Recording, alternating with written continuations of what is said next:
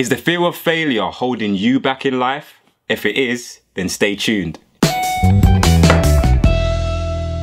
Hi guys, it's Sam Dey here from deytips.com and in this video, I'm speaking to you about the fear of failure. Now, if you are afraid to fail, quite simply, you are holding yourself back from success. Failure is a classroom. You know, it's, it's there to teach you something. Failure is there to teach you a lesson so that you can move on to the next phase in life. Now, if you don't heed to the lessons that failure teaches you, then you'll never progress. You always stay in the same place in the, and in the same situation. A lot of people might look at you know successful individuals um, in their field and they might look up to them with esteem and think you know I really want to be like that famous person. I really want to have the success the money the fame and you know the authority that that person has.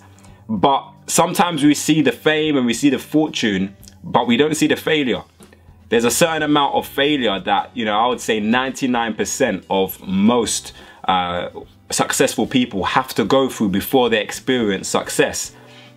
Some people call that experience. You know, there's a and there's an experience, there's a, a birthing process. It's like when a, a mother is giving birth to a baby, there's a there's a there's a process that has to take place before the baby is born. And it's the same with success.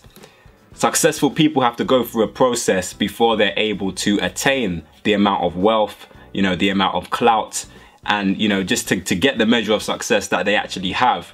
So if you're someone who is fearing failure then really you're shooting yourself in the foot because failure is a necessary part um, of the of the learning journey. And I have a nephew. Uh, my nephew is about two years old now and I, I had the privilege of watching him grow up and he taught me a lot of lessons while he was growing up because obviously when he was first born he couldn't walk. And as you know, during the process of him trying to walk, he fell over so many times. He fell over, he bumped his head, sometimes he would cry, you know, but he never ever gave up trying to walk. Now he can run around, you know, but he would never be able to run around if he never had the experience of falling and hurting himself and failing.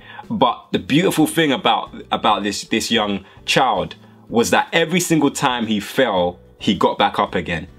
And every single one of us has the ability to fail and get back up again and try again and keep going even though we've bumped our heads in life even though we feel pain even though we feel hurt even though we feel depressed even though we feel stressed we have the option to get back up again.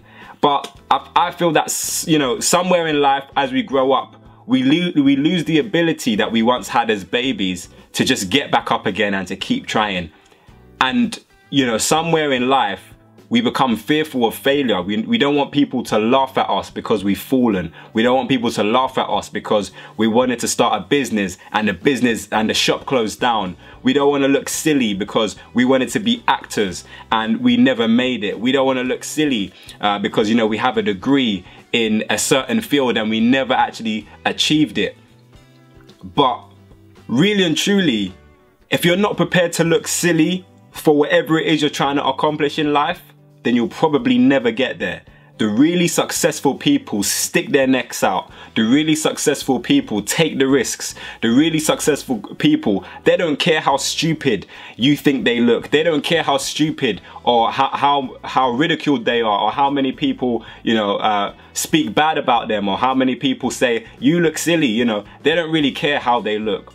They're pursuing their dreams, they're pursuing at all costs, even if they look silly, even if they fail. And if you really want to get past your fear of failure, then you're going to have to be prepared to look silly for your dreams and for your visions. Now, hopefully this video motivated some of you. If it did, then please click the like button down below. If you have anything you want to add to this, then please leave it in the comments section. Um, it will be great to hear from you. But, you know, check out some of my other videos. Hopefully you'll like them as well and also subscribe for similar content. But until next time, have a great day, stay motivated, and I'll see you soon.